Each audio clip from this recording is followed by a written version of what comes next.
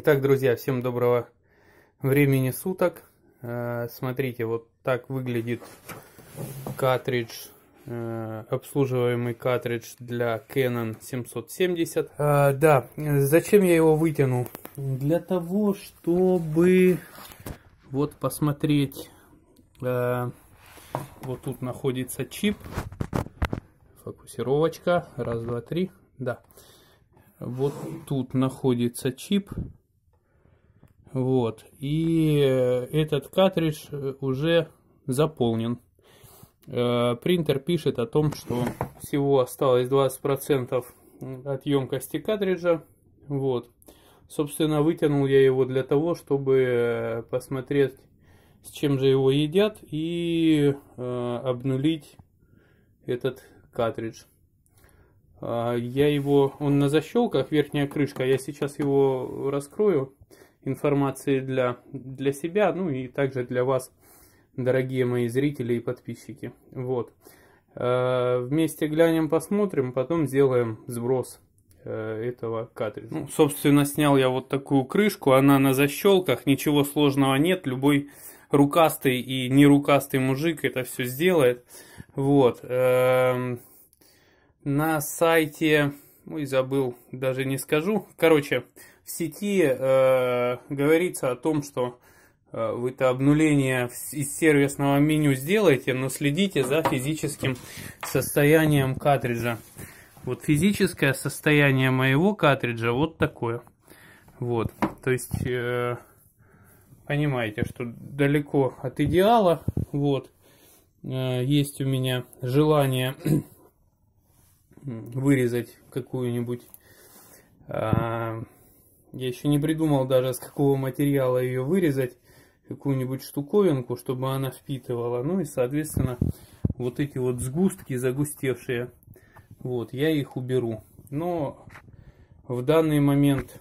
А, в данный момент я просто уберу сгустки, накрою крышку, засуну его обратно и сделаю этот сброс на видео. Так, на экран выводится то, что пора заменить бы картридж обслуживаемый, ну, своего рода памперс. Вот, э, менять мы будем по следующему алгоритму. Э, Наверное, говорить не буду, просто буду делать. Алгоритм этот э, я заимствую с сайта многочернил.ру. Э, не рекламы ради, а информации для. Э, поехали. Первое, что делаем, выключаем принтер. Зажимаем кнопки Load и Fit и включаем принтер. Этим самым мы входим в сервисное меню. Ну, так написано, по крайней мере. Кнопки зажаты. Ждем.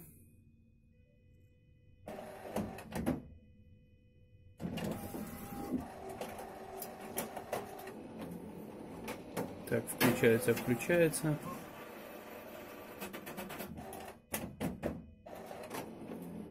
Скорее всего, можно уже бросить. А ну-ка, буковка S должна появиться где-то. Нигде не вижу. Ну, давай-ка дубль 2. Дубль 2, load fit и кнопка power. Включили. А, удерживайте пока в... Удерживайте обе кнопки, пока на мониторе в верхнем правом углу не появится символ S, как доллар. В меню при этом должна появиться новая категория сервис мод. Ну, давайте-ка пробуем дальше. Вот, я их удерживаю. А, смотрим в меню. Так, буковка S не появилась. Раз, два, три. Опять не появилась. Лот и фит я удерживаю. Что за... Что за не... неправильная штуковина? В сервисный режим входит принтер не так, как написано в многочернил.ру и в других э, источниках. 770 а входит через навигацию, кнопку Load и включаем Power. Оп, загорелась. Справа вверху должна быть буковка S появиться.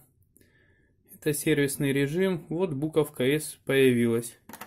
Бросаем э, кнопки. Вот загружается сейчас э, плоттер в сервисном режиме. Вот. Еще раз обращу внимание, что на некоторых источниках э, сказано, что нужно удерживать кнопку Load и Feed, вот эти две. На самом деле это немножко не так.